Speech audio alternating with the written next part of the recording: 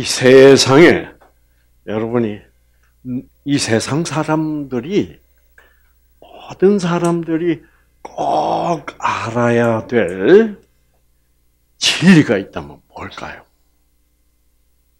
이거는 죽기 전에 꼭 깨달아야 된다. 이것이 진리구나. 뭘까요? 여러분에게 제일 중요한 게 뭐예요? 생명이야. 생명이야. 생명보다 우리 인간에게 더 중요한 게 어디 있을까요? 그러니까 이거는 죽기 전에 아, 생명이 무엇인가를 깨달아야 돼. 생명은 무엇이에요? 어? 갑자기 또 왜 이래요? 네? 그렇죠. 하나님의 무조건적 사랑이 그게 생명이다. 그를 아시면 여러분 그 생명이 죽은 사람도 살리고 내가 죽어도 나를 부활시키고 네. 내 병도 치유하고 그 이상 중요한 거 있습니까? 네. 그래서 진리를 잊 지 마십시오.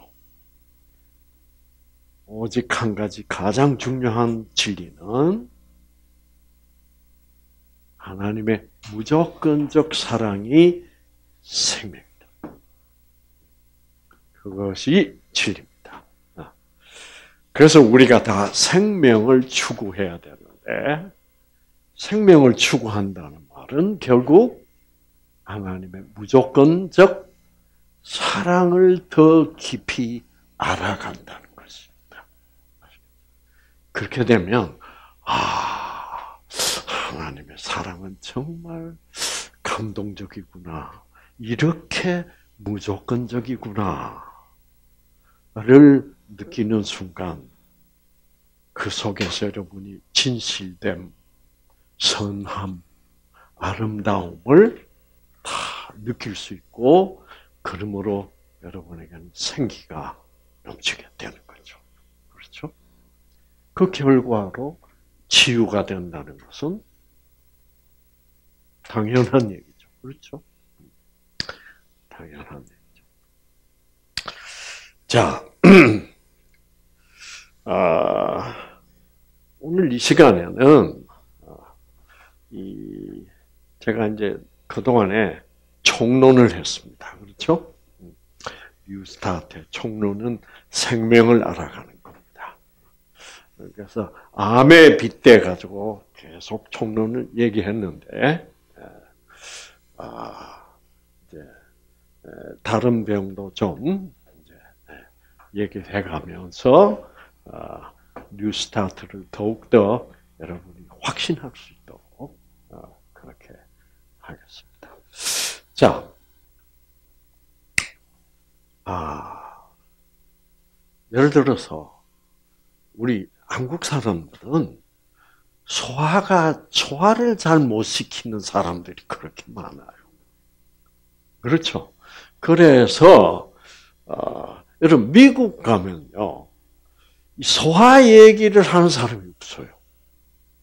소화는 다 잘 되는 모양이에요. 근데 우리나라에 오면 다 자꾸 소화가 안 된다는 말을 많이 듣고 그래서 사람들이 약방에 가서 소화제를 찾는 사람들이 그렇게 많아요. 그 소화가 안 될 때는 소화제를 먹는다. 그래서 소화제를 먹으면 그 소화제가 소화시켜 줘서 소화가 좀 되는 것 같아. 그럼 그게 소화가 안 되는 이유는 뭐예요? 소화제가 부족하다는 겁니다. 어, 내 위장 세포와 내 췌장 그리고 십이지장에서 소화 물질을 생산해내는 유전자들이 그 세포 속에 있어요. 그러니까 소화가 안 된다는 말은 췌장이나 십이지장, 특히 위장 세포에 입력되어 있는 이런 내가 먹은 음식을 소화시켜주는 소위 우리말로 쉽게 해서 소화제라고 얘기해요. 그 소화제를 의학적으로 자세, 아, 의학적으로 어, 표현하면 소화시키는 효소. 그래서 소화 효소라 그럽니다. 아, 그래서 영어로 하면 digestive, digestive란 말은 소화시키는 이란 말이고, 그 다음에 효소는 enzyme. 그래서 digestive enzyme라고 불러요. 소화 효소죠. 그 각종 여러 종류의 소화 효소들이 위장세포, 췌장, 십이장에 입력이 되어 있는데 그 유전자들이 소화 효소를 생산하는 유전자들이 꺼졌다는 얘기입니다. 그러니까 소화 안 된다는 말이나 암에 걸렸다는 말이 말이나 어느 유전자가 더 많이 꺼졌냐의 문제지 알고 보면 모든 질병은 다 뭐예요? 같은 병이다 이 말이에요. 자 우울증은 엔돌핀 유전자가 꺼졌다는 불면증은 멜라토닌 유전자가 꺼졌다는 말이고 그러면 유전자가 꺼진 이유는 그 원인은 뭐냐 하면 결국은 뭐예요? 결국은 생명이 충분히 공급받지 못했다. 그 생명을 충분히 공급받지 못하는 이유는 기본 여건이 잘 갖추어지지 않았고 또는 내 내면에서 그 무조건적 사랑을 자꾸 뭐요 거부하고 있고 내 내면에서 오히려 분노하고 있고 미워하고 있고 네. 그렇게 그렇기 때문에 음, 생명이 자꾸 막히고 내 내면 속에서 자꾸 무슨 소리가 나오게 되는 경우 나 원 참 기가 막혀 기가 막혀 다음에 나오는 말은 뭐예요? 죽겠네요. 기가 막히면 죽겠네요. 무조건적 사랑이 막히면 죽겠네요. 왜? 무조건적인 사랑이 생명이니까 생명이 막히면 죽겠네 소리가 절로 나오죠. 참 우리 한국말은 이, 이 생명 차원에서 굉장히 정확한 언어. 정말 놀라워요 제가 그래서 제가 뉴스타트를 알고부터는 야, 이 한국말은 어떻게다가 이렇게 생명적으로 이렇게 발전된 언어가 됐냐. 참. 그러니까 우리 한국 사람들이 옛날부터 이 생명에 대한 그 기, 생기, 그 기에 대한 감수성이 뭐요? 굉장히 발, 발달되어 있었다는. 그렇다면 여러분 생기에 대한 감수성이 가장 발달되면 된다면 그 발달되는 이유가 있을 거 아니에요. 어떤 경우에 사람들이 생기에 대한 필요성을 가장 절실하게 느낄까? 죽겠을 때 그렇습니다. 그럼 그래서 우리 한국 사람들을 이렇게 저는 이제 미국에서 오래 살아봤기 때문에 사실 아, 살았던 기간을 따지면 미국서 산 기간이 훨씬 길어요. 미국서는 어, 제가 40년, 45년 살았고, 네, 한국서는 이제 기껏 한 30년 사는 거예요. 그래서 제가 75년을 사는 건데, 아, 그래서 이 미국에서 그 저는 미국 분위기가 참 익숙하죠. 근데 이제 미국적 분위기는 상당히 무선적 분위기예요. 예수적 분위기입니다. 왜? 그 나라 자체가 건국이 된 것이 무슨 정신으로 건국, 건국된 거예요? 예수 정신으로. 그게 무조건적 사랑 정신이야. 그러니까, 음, 어, 유럽에서 그 미국을 세운 사람들이 누구들이요? 청교도인들이야. 왜 청교도인들이 미국으로 왔어요? 아, 그 조건적 분위기가 싫어가지고 자기들이 성경을 보고 배운 하나님은 무조건적 사랑의 하나님인데 그게 자꾸 위에서 조건적 하나님을 믿으라고 압박을 하니까. 그래서 그, 그, 그 종교적 박해를 받았다는 거죠. 어. 그러니까, 아, 우리는 신대륙에 가서 이러한 종교적 박해가 없는 곳에서 우리가 보는 성경 그대로, 무조건적 사랑 그대로 한번 믿어보겠다. 그래서 그 신앙 때문에 고향을 다 버리고 친구도 버리고 신대륙으로 온 사람들이 세운 나라예요. 그러니까 미국이란 나라는 가장 무조건적 사랑을 추구하는 나라다. 그러니까 미국이란 나라가 가장 국민들에게 뭘 주는 나라요? 자유야, 자유. 네가 뭘 믿든지 무슨 종교를 가지고 우리는 뭐요? 상관하지 않는다. 그거는 그래서 종교의 자유. 그래서 이 자유가 가장 중요한 나라가 미국이에요. 그래 놓으니까 이 가장 그래서 미국의 특징이 어떻게 되어 있습니까 지금? 그런 분위기에서 백성들을 국민들을 살게 하니까 국민들이 가장 이 세상 어느 나라 사람들보다 다 무슨 적이 됐어요? 창의적이 됐어. 창조적이. 그래서 역사는 얼마 안 되는 미국이 가장 창조적인 생각을 합니다. 그래서 지금 어, 최강국이 돼 있는 거예요. 근데 이제 자꾸 후퇴하는 나라들은 어떤 나라들이에요? 국민들의 사고방식이 다 뭐예요? 움츠린 나라들입니다. 어, 왜? 위에서 자꾸 뭐 하니까? 억압하니까. 어, 그래서 독재국가 뭐 이래서 움츠렸어요. 그래서 이 대한민국은 참 어떻게 어떻게 돼가지고 갑자기 뭐예요? 확 자유가 들어버려. 그게 누구 영향을 받은 겁니까? 미국 영향을 받은 거예요. 결국은. 그래서 그 미국적 분위기를 우리는 좋아하게 됐어.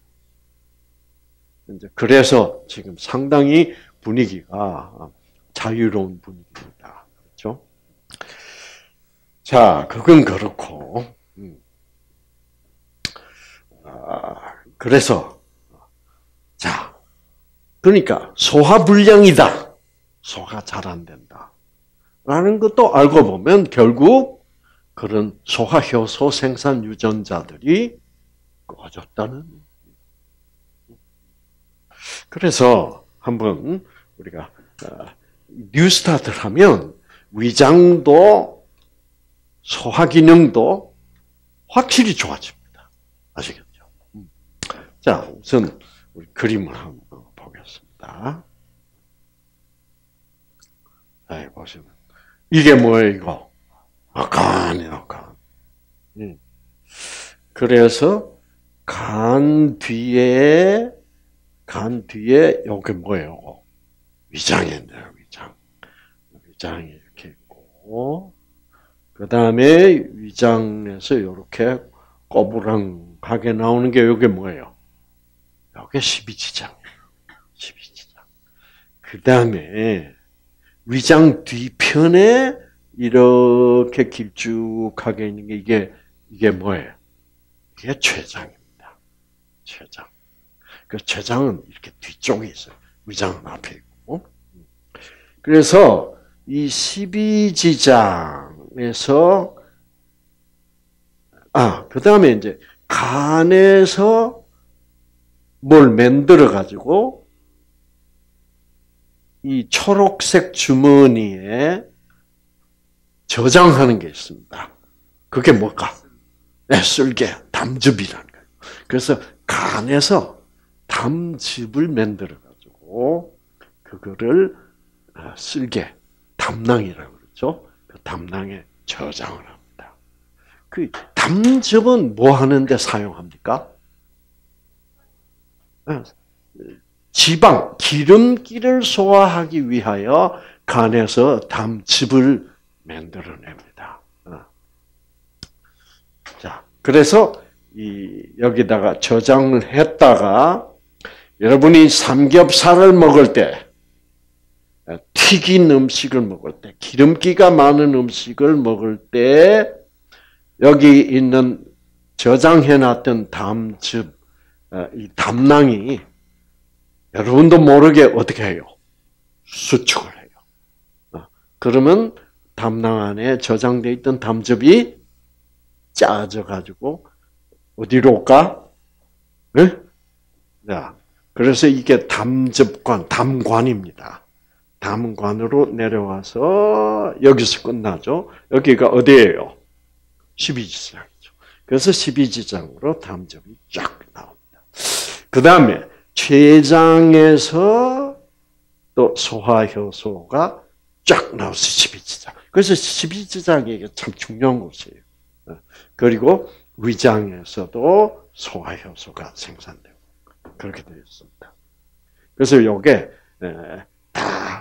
그래서 위장에서 계속 주물럭주물럭 해가지고 음, 소화를 한, 한 반쯤 시켜가지고 12지장으로 보내면 또 12지장에서 이제 아직도 소화 안 된 기름기 이런 거를 소화하고 또 단백질 이런 걸 소화하는 거예요. 어. 그래서 모든 유전자들이 잘 켜서 소화물질, 소화효소들을 잘 생산하면 어, 식사하고 난 뒤에 얼마 후, 한, 한 시간 후면 뭐예요? 깨끗이 위장이 비워지고, 그 다음에 어, 소화된 그런 음식들은 어디로 가요? 12지장을 거쳐서 소장으로 가는 거야. 소리가 작은 창자. 소장 아주 깁니다. 그래서 그 소장을 통과하면서 소화된 영양소를 흡수하게 되죠. 그래서 이런 모든 유전자들이 원활하게 잘 켜져서 작동을 잘 하면, 네, 소화가 잘 되는 거예요. 어. 자, 그러면 그래서 그러면 우리가 오늘 저녁에 위장을 초점을 맞춰서 한번 위장을 보겠습니다. 자, 요게 위장입니다. 장. 어, 위장을 잘라서 위장 속을 지금 보여주고 있는 거예요. 요건 뭐예요, 요거? 여러분이 잡수신 음식. 아, 그 다음에 그 여기는 뭐예요? 여기. 네? 여기는 뭐예요? 여기는. 여기 뭘 자른 거예요? 식도를 자른 거죠. 그렇죠? 어. 그래서 이렇게 식도에서 음식물이 이렇게 내려와서 위장 속으로 이렇게 들어옵니다. 그래서 이제 근데 여기서부터는 뭐예요? 12지장. 오케이. 자, 그래서 자, 우선 위장의 벽을 좀 봅시다. 위장 벽을 보면, 아, 위장 벽이 몇 층으로 돼 있어요? 세 층이야. 세 층이다. 이게 근육, 근육층입니다. 그래서 이렇게 결이 된 있고, 이렇게 된 결이 있고, 또 이렇게 된 결이 있고. 왜 심장은 이렇게 이 근육결이 서로 어, 왜 그렇게 돼 있을 필요가 있을까요? 심장은 각 방향으로 다 주물럭거려야 되니까. 어, 그래서 막 이렇게 주물럭거리는 게 위장이다. 그래서 여러분이 보시면 야, 위장은 어떤 때는 뭐예요? 이렇게도 하였다가 또 어떻게 해요? 또 이제 그 처음에는 여기가 좁았는데 음식물이 들어가면 또 여기가 좁아지면서 그 다음에 이랬다가 또 뭐예요? 이렇게 했다가 온갖 흉을 그러니까 여러분 이거 할 줄 아는 사람 손 들어보세요. 이거 이런 걸 다 무의식 중에 우리가 컨트롤하고 있는 게 조절하고 있는 게 아닙니다. 이거를 제일 소화가 제일 잘 되도록 제일 부드럽게 조절하는 그 신호를 주는 것이 바로 생명의 영적 신호입니다. 자, 그러면 이 신호가 잘못되면 위장이 어떻게 되겠습니까? 자, 진선미가 들어온다. 사랑이 들어온다. 참 감동적이다. 그러고 있으면 위장은 뭐요? 네, 잘합니다. 네. 그런데 이러다가 핸드폰이 울렸어. 지금 맛있게 먹고 있는데. 뭐 어째? 뭐라고? 이렇게 되면 어떻게 돼요? 이렇게 잘 소화가 잘 되도록 주물럭거려 주는 생명 신호, 전자파가 확 변하는 거예요. 나쁜 전자파로, 베타파로. 그러면 위장이 어떡할까요? 야! 그래서 우리가 기분 나쁜 전화를 받으면 뭐가 뒤틀려? 속이 뒤틀려. 그럼요. 그래서 직결되어 있습니다. 이 위장의 기능, 뜻, 직결되어 있어요. 어. 자, 그래서, 우리, 어, 제가 볼 때, 미국서 제가 조금 더 오래 사는 것 같은데, 한 5년을 더. 아, 그 미국에서의 생활하고 한국에서의 생활은 이 한국서가 훨씬 더 속이 뭐예요? 뒤틀리는 경우. 어, 그래서 한국 사람들은 아주 자주 자주 뭐 상한다 그래요? 속 상한다 소리 그래. 속 상할수록 소화가 잘 돼, 안 돼? 안 되죠. 무슨 말인지 알겠죠? 네. 네. 그래서 우리나라는 소화제가 그렇게 잘 팔려. 왜? 속상할수록 어, 소화효소를 생산하는 유전자가 뭐요? 꺼지니까. 그러니까 내 자신의 위장세포에서 소화효소를 충분히 생산해내면 내고 내가 또 이렇게 부드럽게 주물럭거리면 소화라는 건 아무런 문제가 없을 텐데. 네. 자꾸 속상해. 짜증나고 속상하고 두렵고 어, 이런 게 너무 많아요. 왜 한국이 더 그럴까요? 한국 사람 우리는 상대방에게 선택의 자유를 안 주는 나라입니다. 그렇죠? 엄마 말을 들으라고. 그러니까 자녀의 선택에 내가 뭐요? 간섭을 많이 한다. 그리고 그 간섭하는 게 옳다고 생각해. 그래서 여러분이 이제 미국서 오래 살아보면요. 미국 부모들은 그래서 지금 제가 손자가 하나 있는데 우리 딸이 그 손자를 키우는 모습을 보고 제가 감동을 받았어요. 얘는 그 손자를 우리는 우리는 아이들을 설득한다는 게 없어요. 엄마 말이니까 들으라는 거야. 또 아빠 말이니까 뭐요? 군소리 하지 마. 그 런데 우리 딸이 키우는 걸 보니까 애들이 군소리 하는 거. 그건 틀렸잖아, 엄마.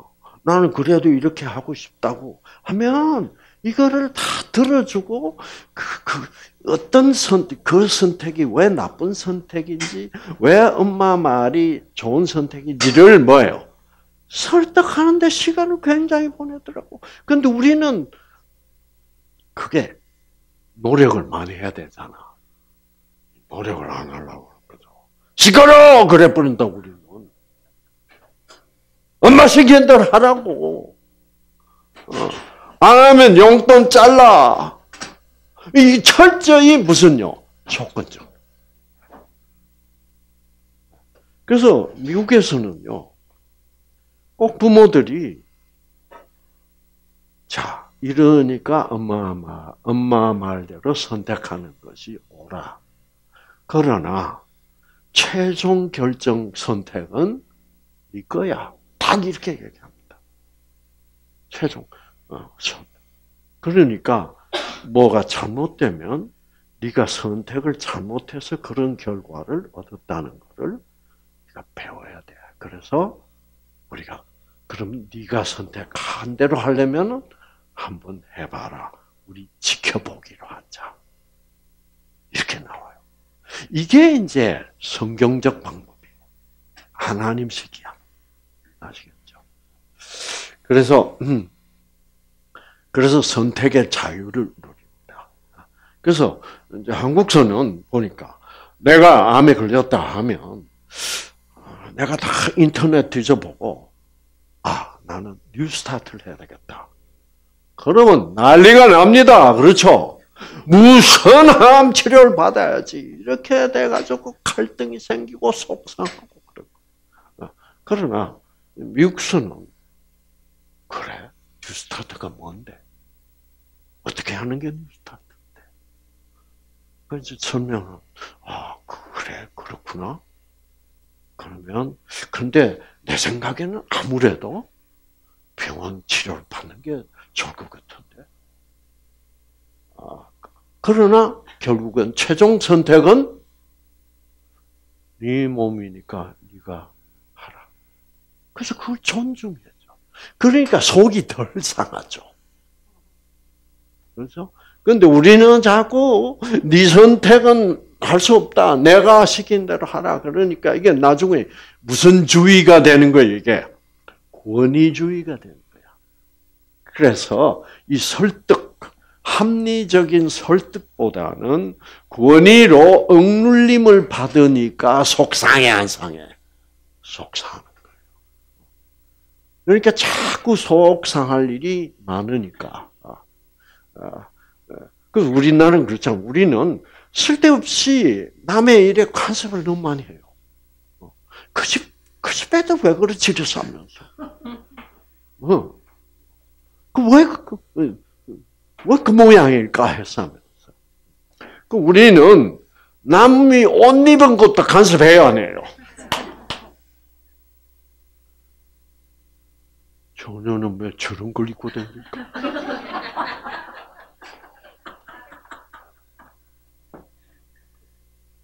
저게 옷이라고? 지 눈에는 좋아 보이겠지. 그런 면에서 본인의 선택에 대해서 간섭하는. 그래서 그런 면이 참 편해요. 아시겠죠? 어. 그래서 음, 그래서 우리의 문화의 차이로 말미암아 아, 그런 식으로 미국식으로 그렇게 한다면 속상할 일이 그렇게 많지 뭐요? 않겠죠. 그런데 우리식으로 하면 하, 그걸 또 들어줘야 되고 그래서 세상에 나는 받기 싫은 항암 치료까지 받는 수가 있더라고. 왜 식구들이 전부 받아야 된다고 하니까. 네. 그래서 그런 우리는 아직도 그런 선택의 자유를 아, 누리고 있지를 못하는 그런 사고 방식의 문화의 지배를 받고 있습니다. 그래서 아 그러니까 이제 문화 자체가 그러니까 그러니까 이제 잘못 보이면 결혼 결혼해도 부모들이 별로 안 도와줄 거고 뭐 이런 게 다 연관돼 있어. 근데 여러분, 미국은요, 결혼할 때 부모가 그렇게 돈 안 씁니다. 여기는 막 기둥이 날라가래. 은행 가서 융자하고 난리가 나더라고. 저도 우리 애들 결혼하는데 돈 한 푼 안 썼어요. 왜? 다 자기들이 알아서 하게 돼 있다고. 왜? 그참 놀랍죠, 그렇죠? 그래서, 음, 어, 그래서 우리는 부모가 해주니까 무슨, 어, 그 뭐라 그래요. 결혼하기 전에 뭐, 어? 신부 집에서 신랑 집에 뭐, 예? 예단, 어. 막 그때부터 막 신랑 신부를 스트레스 받기 시작해. 그렇죠? 왜 이런 걸 보내왔냐? 이게 이제 문제가 심각한 거예요. 그 미국서는 예당 같은 거는 존재하지를 않아요. 아시겠죠? 얼마나 편할까? 그렇죠? 응. 그래서, 음. 자, 그래서, 이제, 이렇게 되고, 그 다음에, 이제, 이거는 위벽의 얘기고, 그 다음에 봅시다. 이제, 위장의 내면을 봅시다, 내면. 보니까 쪼글쪼글쪼글해져 있죠, 그렇죠? 그리고, 여기 이제 음식이 여기 있고, 요건 뭐예요? 위액입니다. 위액. 위액을 구성하는, 이 액체를 구성하는, 어, 물질이 세 가지입니다. 첫째, 위산. 위산. 그래서 위산이 역류해서 올라오면 신물이라 그래요. 아주 시죠. 그렇죠. 굉장히 강한 산입니다. 예. 염산이에요, 염산. 그래서 여러분, 뭐 염산을 얼굴에 뿌린다 그러잖아요. 뿌리면 어떻게 되는 거예요?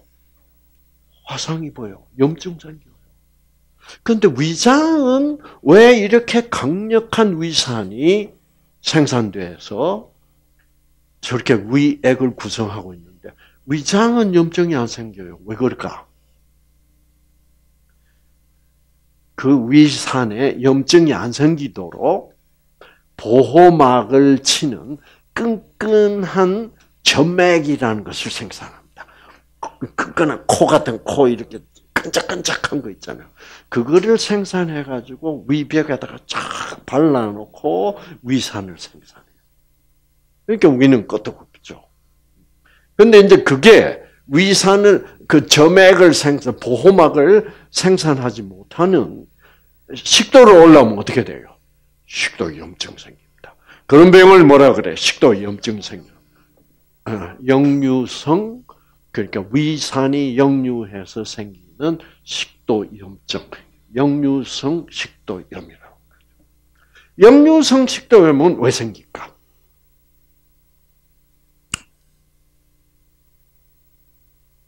자, 여기 보면 위장에서 소화가 충분히 된 음식들이 어디로 넘어가요? 12지장으로 넘어갈 때 이 12지장하고 위장의 경계선이 여기 있어요. 이 경계선에 뭐가 있게? 조르개가 있습니다. 와, 그래서 위장에서 음식물 소화하느라고 아, 주물르고 있으면 이게 어, 시도 때도 없이 뭐예요? 조르개가 없으면 어떻게 돼? 예, 충분히 소화 안 된 음식이 치비지장으로 자꾸 쓸데없이 넘어갈 거 아니에요. 그걸 딱 막아가지고 하고 이거 막을 줄 아는 사람 손 들어. 여러분, 이런 중요한 일들을 우리가 하는 거 하나도 없어요.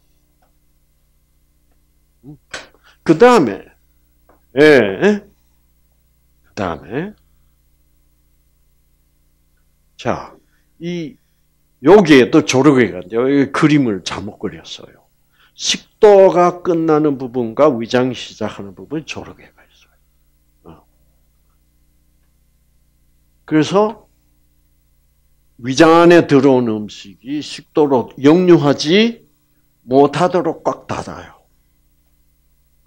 그래서 이게 잘 닫히면 절대로 역류성 식도염이라는 건 생수, 생길 수가 없죠. 그러면 역류성 식도염은 어, 왜 생기냐? 이제 여러분 알았어요. 그렇죠?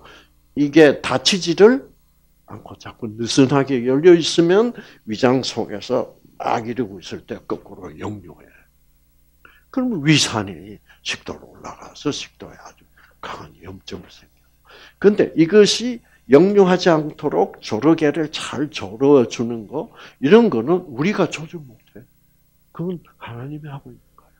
그래서 여러분이, 하, 진선미, 그 사랑, 여러분의 뇌파가 알파파가 돼 있을 때는 이런 것들이 잘 조절이 돼. 조르개가. 음. 근데 이제 뭐예요? 속이 뒤틀린다든가. 예, 이제 이렇게 되면 조르개가 안 닫혀요. 그럼 영향합니다. 그러니까 이런 모든 위장의 문제들이 가만 보니까 전부 뭐예요? 스트레스.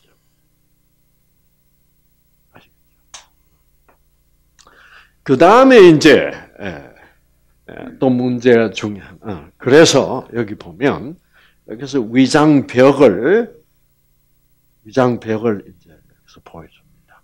그래서 위장 벽이 이렇게 예, 아, 이렇게 돼 있어요. 이렇게 그렇죠? 돼 있는데 여기에 세포가 세 가지 종류의 세포가 있습니다.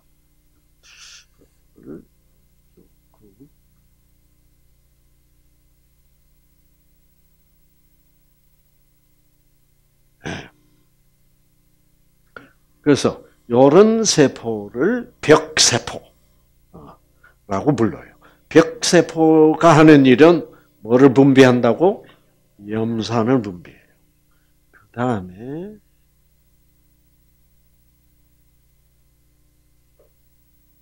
그 다음에 부세포라는 세포가 있어요. 이 부세포가 하는 일은 이런 세포들이 다 부세포야. 여기 이제 벽세포가 이 부세포들은 뭐를 분비해? 점액을 분비해. 끈적끈적한 점액. 그 다음에 또 무슨 세포가 있냐? 찾아봅시다. 어, 주세포라는 게 있어. 주세포. 어, 이 주세포는 단백질을 분해하는 펩신, 어, 어, 그 소화 물질을 생산해. 그래서 이 세 종류의 세포들의 에, 하는 일들이 뭐예요? 다 달라요.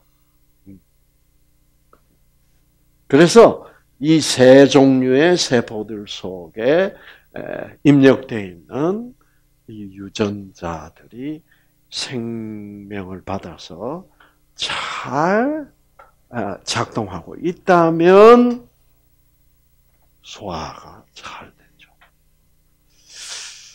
자, 그 다음에 이제 이 위장 기능에 문제가 생기는 또 한 가지 원인은 뭐냐고 하면 위장을 너무 혹사시킬 때 그렇습니다.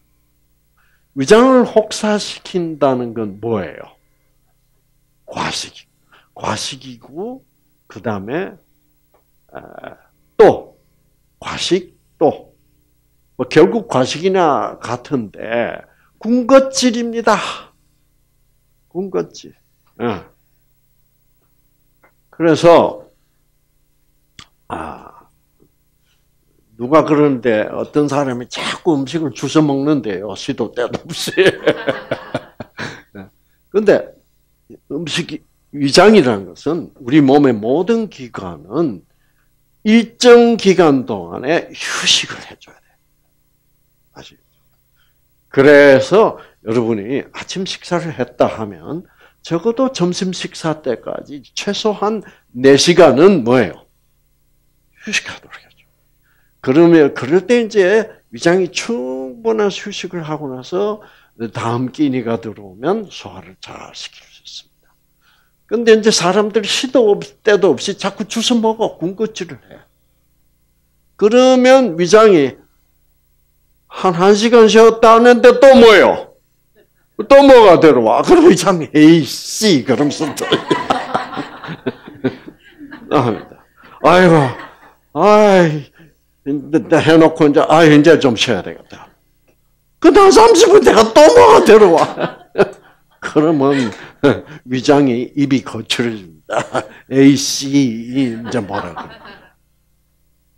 그래가지고 위장이 나중에는 피곤해서 죽노르죠. 이제 그런 이런 생활이 계속 그래서 간식이라는 것이 위 기능에 아주 좋지 않습니다. 그리고 특히 언제 간식하는 게 제일 나쁠까? 밤참입니다. 밤참이라는 거. 왜 그러냐면 이제 그래서 이제 밤참을 먹는 사람들이 참 많죠. 저도 밤참을 참 즐겼는데, 예. 야 밤에 테레비 보고 나서 예, 라면 하나 끓여 먹자. 맛있잖아요, 그렇죠? 어, 그러면 또 이제 식곤증이 와가지고 또 골아떨어져. 골아떨어지는데 골아 떨어지기는 했는데 라면이 여기 하나 들어갔으니 위장은 에이씨 하면서 또 하는 거야. 아시겠죠? 어. 그러면 수면의 질이 아주 나빠집니다. 예, 충분한 수면이 안 되고 자꾸 깨 있는 거 반, 자는 거 반. 예, 이제 이래 가지고 수면의 질이 아주 나빠지고 꿈자리가 뭐예요? 아주 뒤숭숭. 그러니까 여러분이 아, 클린, 음? 아, 아주 깨끗한 수면을 하려면은 아주 양질의 수면을 취하시려면 속이 비어야 돼. 그래서 편하게 평화롭게 예, 주무시는 거. 그래서 그래서 우리가 이렇게 잔다는 것이 수면한다는 것이 이게 좋은 휴식이죠. 그렇죠? 그 휴식 중에 여러분 여러분의 T 세포가 암 세포를 죽인다든가 아, 아 망가진 유전자를 뭐예요? 아, 회복시킨다든가 하는 일들이 다 이 휴식 속에서 일어나는 거야. 그래서 이 양질의 수면을 취한다는 것이 굉장히 중요한 거예요. 음. 자, 그 다음에, 자, 이 정도로 하면 이제 위장 문제는 여러분 이제 화끈하게 이해했죠. 그렇죠. 응. 자, 그러면. 근데 이제 이런 소화, 내가 음식을 먹었다. 소화가 너무 잘 됐다 할 때는 어, 그 언제냐 하면 아 음식 먹거나 음식 먹을 때도 야 정말 이 식당 경치 좋다 맛있다 어, 어 서비스가 좋다 이런 거를 뭐예요 좋은 느낌을 느끼면서 먹으면 소화가 잘 돼요.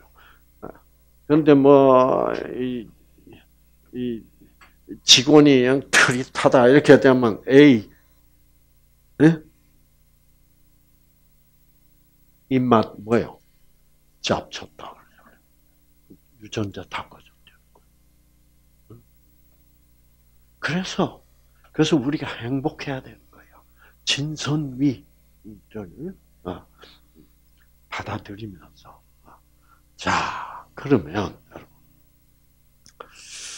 근데 여러분이 이제 박사님 그 하나님이 무조건적 사랑의 하나님이라는데 교회를 가니까 11조를 잘 내는 사람한테는 하나님이 복을 주고 11조 안 내면 복을 뭐예요? 안 준다고 그럽디다. 라고 묻는 사람들이 있어요. 하나님이 그럴까요? 네.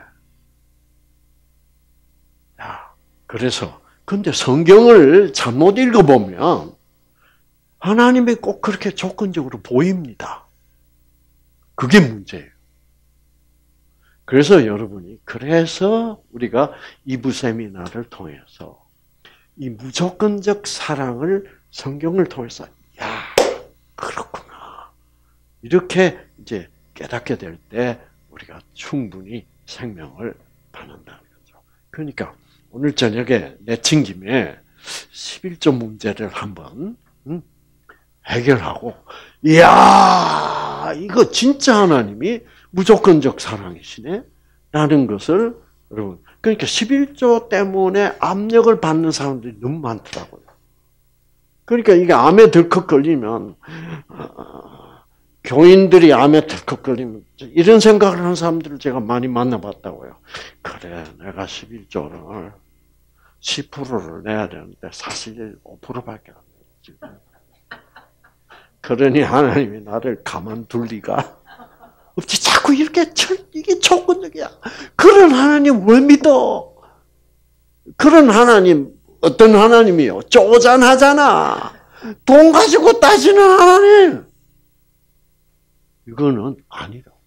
그래서 여러분이 11조에 대한 한번, 그래서, 어, 다들 여러분 11조를 제대로 내는 사람 찾아보기 힘듭니다.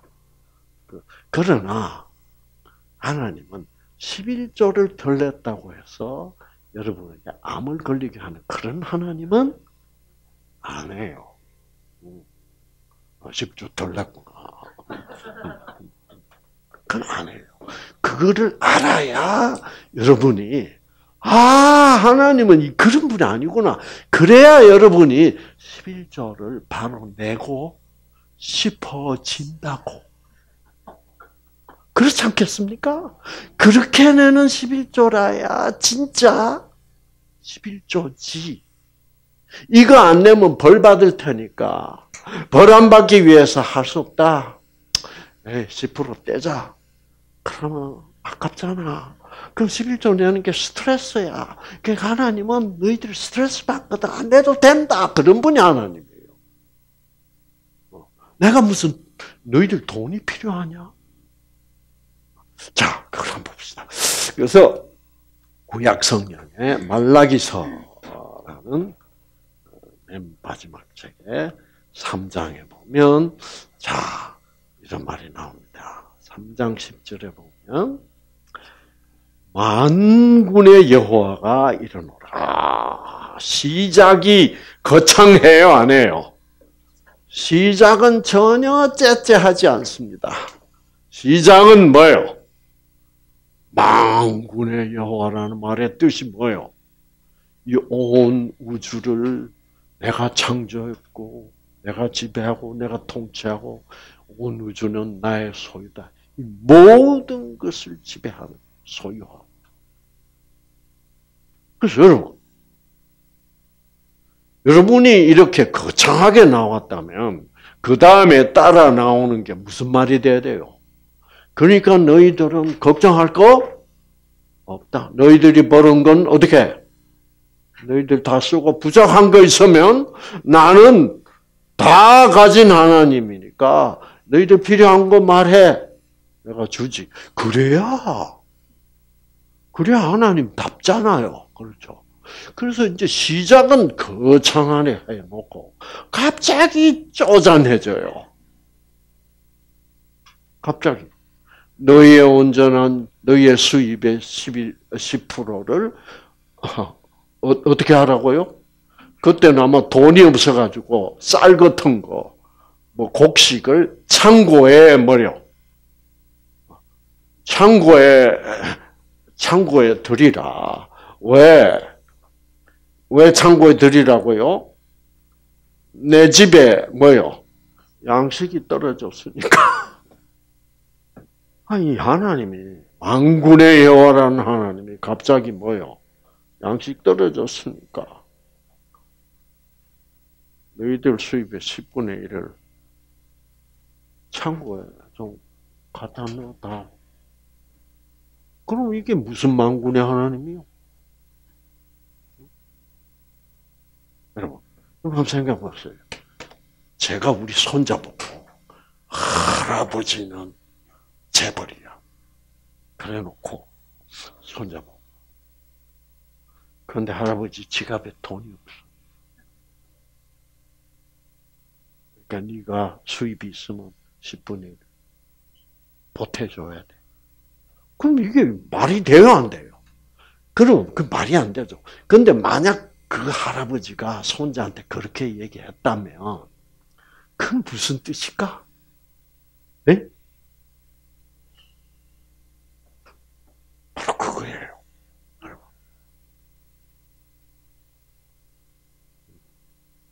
자, 보세요.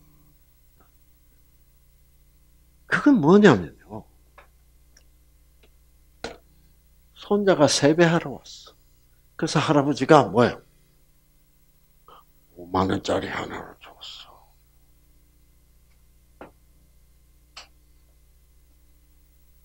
손자가 가게에 내려가가지고 초콜릿을 하나 사왔어. 그때 할아버지가 손자 보고 뭐라 그래요? 할아버지 초콜릿 한 입만 줄래? 그런 게 11조예요. 아시겠죠? 아니, 할아버지가 돈이 없어서 초콜릿을 못 사먹어. 내가 너한테 준 5만원 가지고 내 천 원짜리 초콜릿 하나 샀는데 그 할아버지 좀 달라는 거예요. 그거는 할아버지가 초콜릿을 달라는 말이 아니죠. 뭐 달라는 말이죠? 내가 5만 원 줬잖아. 할아버지가 너를 얼마나 사랑하냐. 그 너 천 원짜리 초콜릿 사고 지금 4만 9천 원이 남았는데. 네? 지금 초콜릿 50개를 사 먹어야 돼. 50개? 50개 맞아. 그렇죠. 만 원에 10개니까 50개 만 그런데 할아버지가 초콜릿 좀 한 입만 먹자. 그러니까 손자가 뭐예요? 싫어. 그럼 할아버지가 뭐라 그래요? 할아버지가 아침 식사를 못해서 배가 고프다. 거짓말. 그, 그런 모습입니다. 아시겠죠? 네. 하나님이 무슨 양식이 필요해요? 그렇죠? 모든 것을 가지고.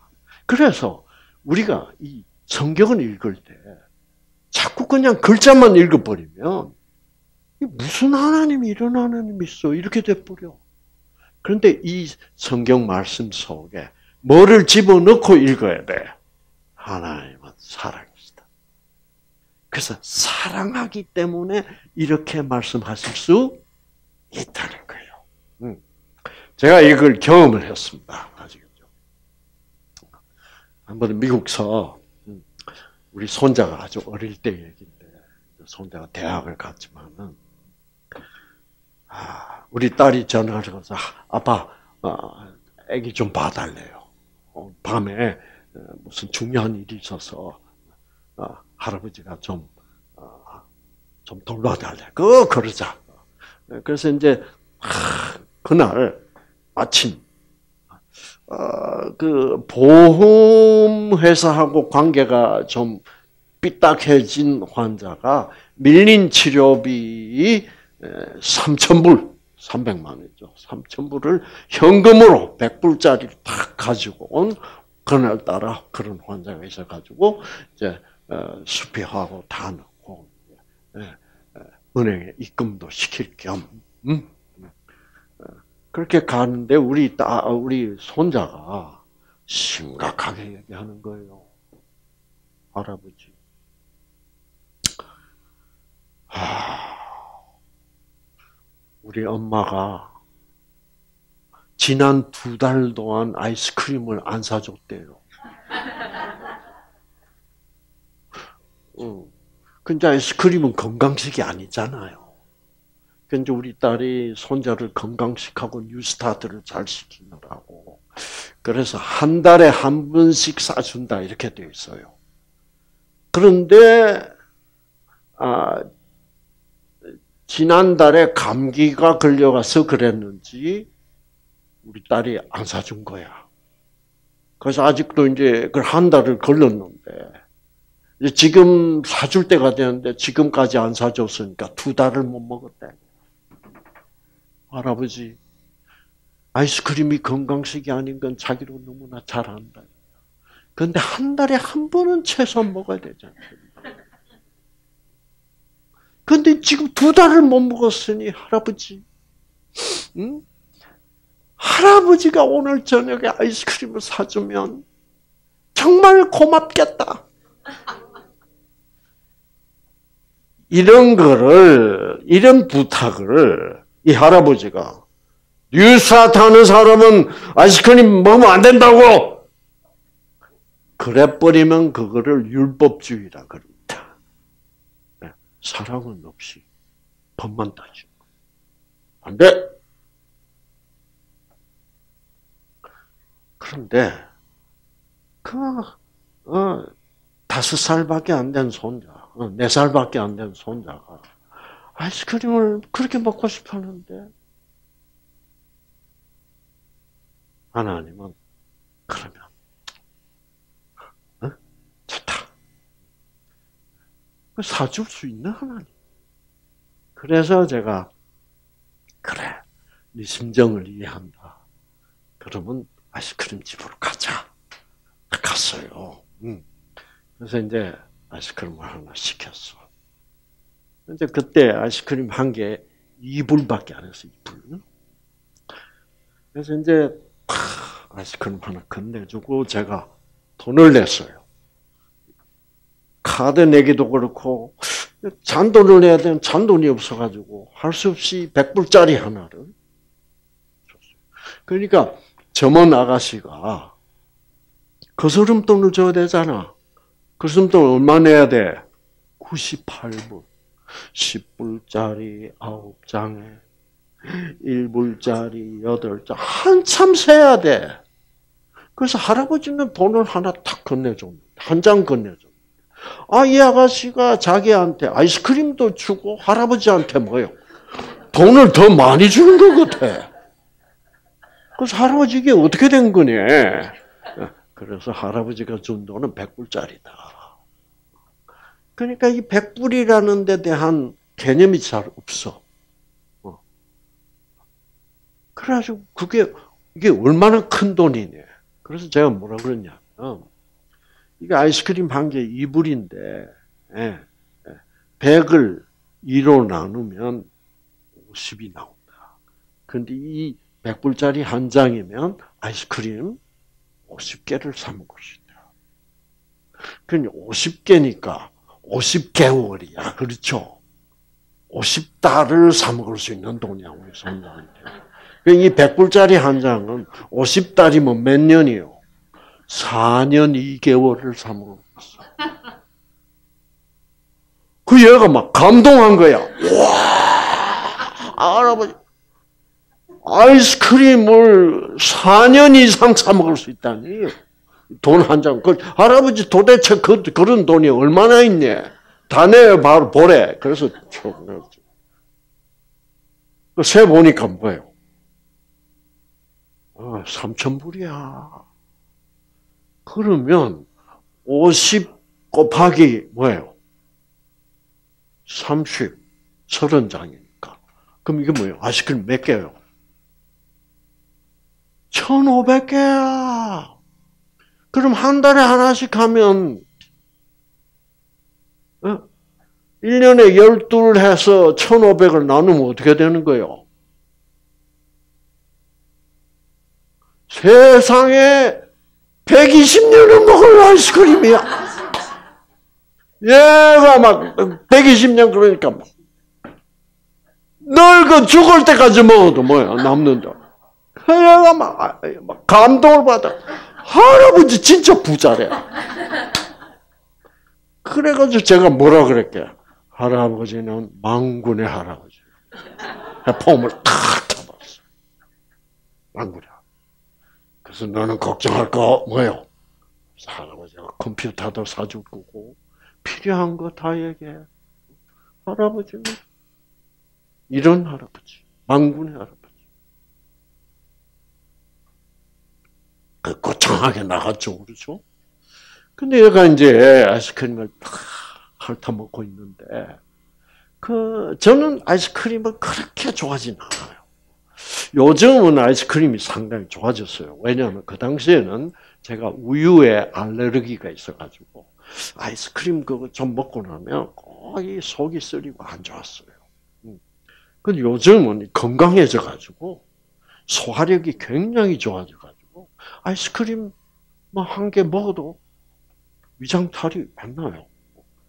근데 이제 그때는 제가 아이스크림 먹으면 어, 위장탈이 났기 때문에 싫어했어요. 근데 이제 우리 손자가 아이스크림 그렇게 맛있게 먹고 있는 것을 보니까 한 입 얻어먹고 싶더라고. 그래서 할아버지 한 입만 줘봐. 그랬더니 얘가 그냥 아연 실색을 하는 거요. 할아버지, 이게 지금 내가 두 달 만에 먹는 건데, 어떻게 나눠 먹냐. 너무하다 이거야. 그러니까 그리고 할아버지는 120년을 먹을 돈을 갖고 있어서 왜 나 자기 보고 달래냐? 그 제가 뭐라 그랬게? 어, 할아버지 돈 내고 사 먹을 수 있어. 근데 그 돈 내고 사 먹어 봐야 네가 주는 아이스크림이 더 맛있어. 내가 내 돈 주고 사 먹는 아이스크림 별맛 없어. 그랬더니 얘가 무슨 말인지 모르는 거야.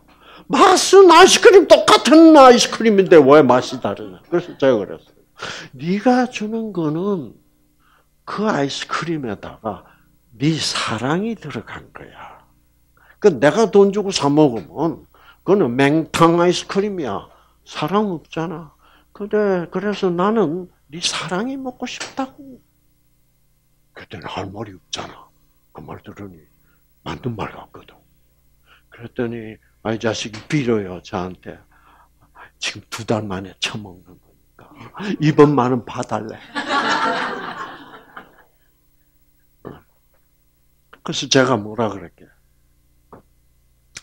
그래, 그 심정 내가 잘 알겠지만 그래도 네가 나한테 할아버지한테 한 입만 주면 너는 더 행복해진다.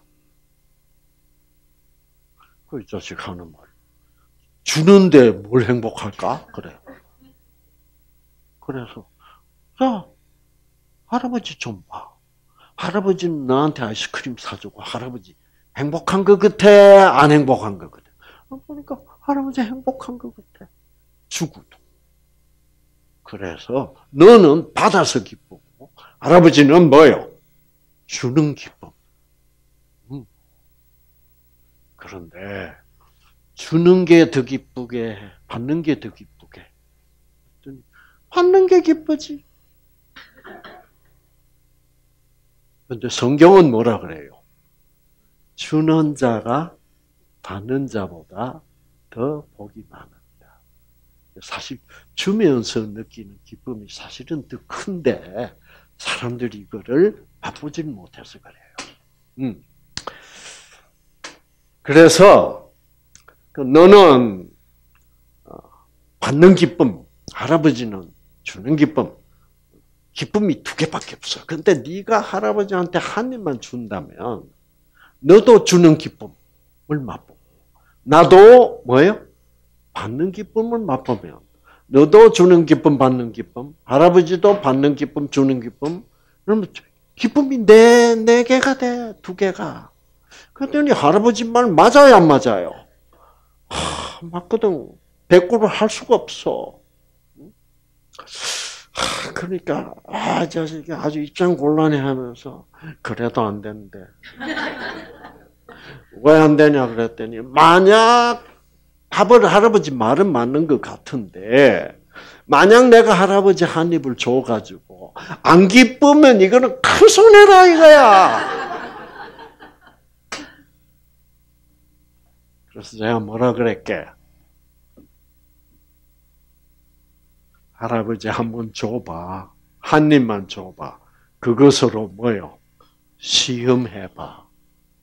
시험해봐. 기쁘나 안 기쁘나. 시험해봐.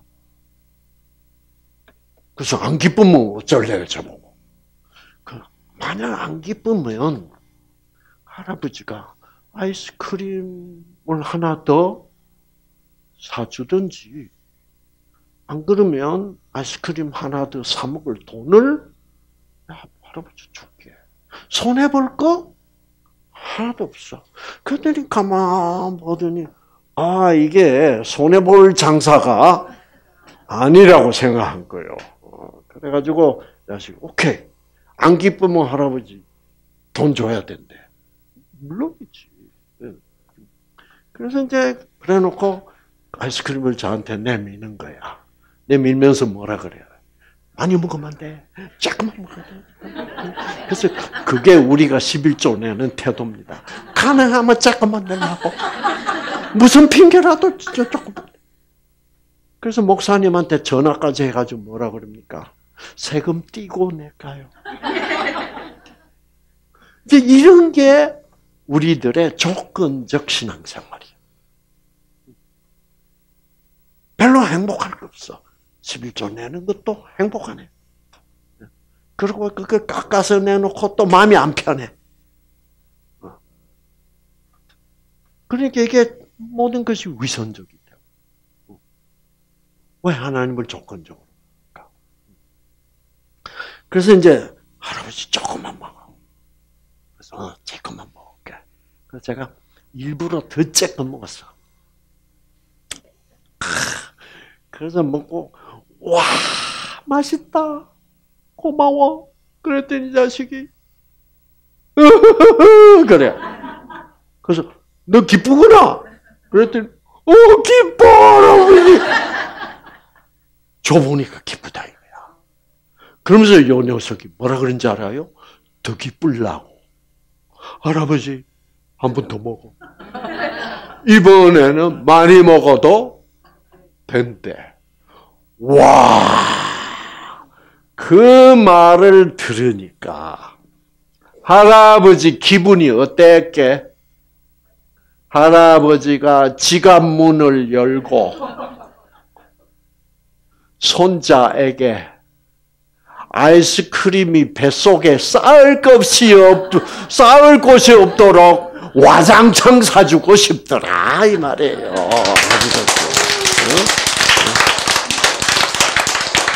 얼마나 아름다운 얘기입니까? 이거를 째째하게 11조를 잘 내면 복 준다느니 안 내면 복 못 받든다든지 이거는 아니거든요. 그렇죠? 그래서 여러분이 성경을 통해서 아 이런 얘기가 이런 얘기구나 라는 걸 깨달을수록 뭐예요? 아, 진선비가 더 맛있게 느껴지고 그 사랑이 더 깊이 느껴지고 유전자는 더 뭐요? 활짝 켜지고 그런 거예요. 아시겠죠? 벌써 여러분 이런 얘기를 듣고 여러분이 박수를 치란 말도 안 했는데 쳤잖아. 그때 여러분은 생명을 뭐요? 왕창 풍성하게 받는 순간이다. 그래서 그래서 하나님과 함께 하는 거죠. 우리는 하나님의 사랑, 무조건적 사랑, 생명을 깨닫고 받아들이면서 나도 모르는 사이에 유전자가 회복돼서 치유가 일어나고 있다.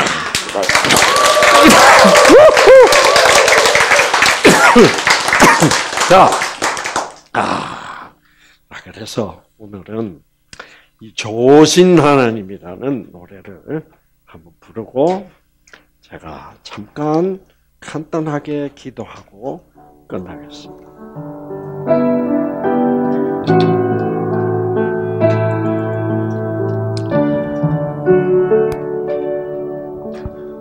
참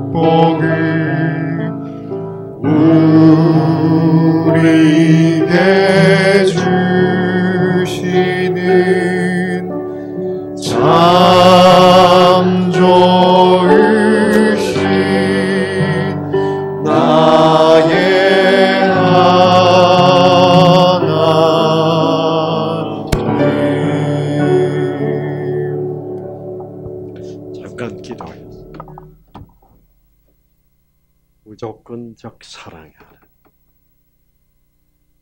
그 사랑으로 우리에게 생명을 주시는 우리는 참 유전자가 꺼져서 병이 나서 이곳에 모였습니다.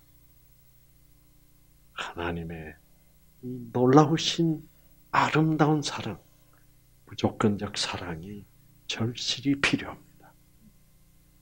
왜냐하면 그 사랑이 생명이기 때문입니다. 그 사랑은 하나님 말씀 속에 있습니다. 오늘 저녁에도 이 11조 이야기를 통하여 하나님의 놀라운 그 무조건적 사랑의 맛을 조금 보았습니다. 그러는 동안 우리는 그 맛을 즐겼고, 우리는 맛을 즐기고 기뻐하며 아, 손뼉을 치는 동안 하나님은 그 생명으로 우리의 유전자를 우리도 모르는 사이에 치유하고 계셨습니다. 하나님 감사합니다. 자 이제 우리가 각자 자리에 들어가서 잠들겠습니다.